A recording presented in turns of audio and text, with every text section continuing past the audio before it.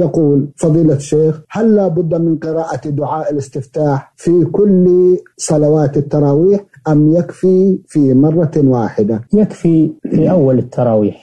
يكفي الاستفتاح في أول التراويح في أول ركعة. وكذلك قيام الليل فإنه يكفي إذا استفتح في الركعة الأولى. والاستفتاح من حيث هو سنة ليس بواجب أو تركه فصلاته صحيحة. ولكن الإتيان به أفضل ويكون في أول صلاة التراويح وفي أول التهجد من قيام الليل. نعم. جزاكم الله خيرا.